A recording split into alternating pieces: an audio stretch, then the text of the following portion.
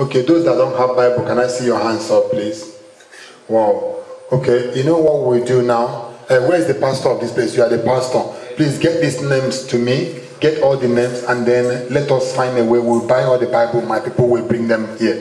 Get me the names of those that don't have Bible. I know there are over almost 300 people that gave their life to Christ today. There are so many. But find out how many that does not have Bible. Please, we must supply all of them Bible. And if there are ones that cannot get read English Bible, if it's Hausa or Fulani, let us find it. There must be a way to get it. We will get that Bible. Whatever it costs, we'll bring the money and then the, my brothers will find it and buy it and come and supply here. In a week time, you'll get all the Bible. Please please try your best. It's very important. And then when i when we walk out from here be a brother's keeper.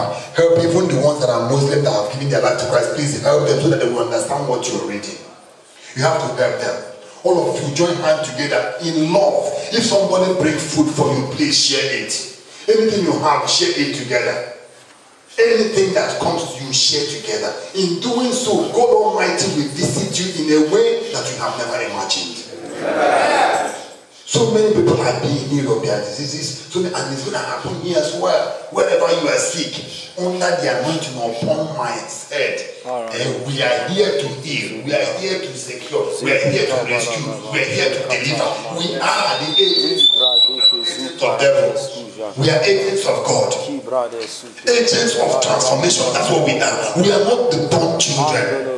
We are the children of Isaac, for God's sake. We are free children. The lineage of Abraham. We have Abrahamic blessing upon us. Therefore, we will release all for you today so that you will walk in the same principle that we walk in. Focusing on Jesus, author and faith alone.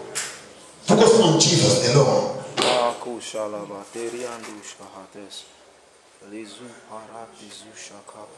Because once we find Him, you will find out our trouble and we eradicate the troubles.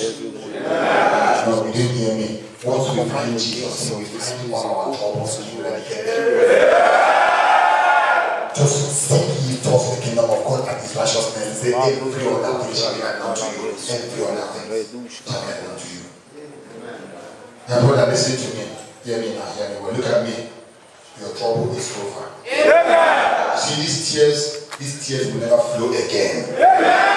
This is the last time we will shed tears for that devil. Whatever he is doing, it has come to an end today. And the same God that set me free has come here to set you free. My brother, listen to me. I know the journey you have walked in. I know what you have gone through. And even to forsake whatever religion you were before and come to Christianity, today, it is not an easy task. But because of the decision you take today, my God will go out of his way to favor you. Your life will not remain the same. No, you won't cry anymore.